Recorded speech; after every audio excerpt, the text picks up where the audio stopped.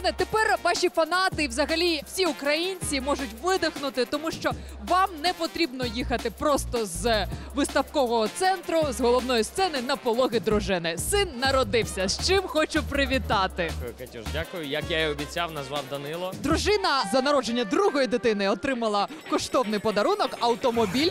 Це було замовлення, чи це був сюрприз Це дружині? був, це був сюрприз. Мені хотілося їй щось зробити приємне і подарував їй е, автомобіль. Хоча, якщо чесно, знаєш, я її вивів з, е, з полового будинку, закрив очі і кажу: ти виходь, виходь, виходь, е, не розплющуй очі. І перше, коли вона розплющила очі, сказала: Блін, це такий чоловічий колір.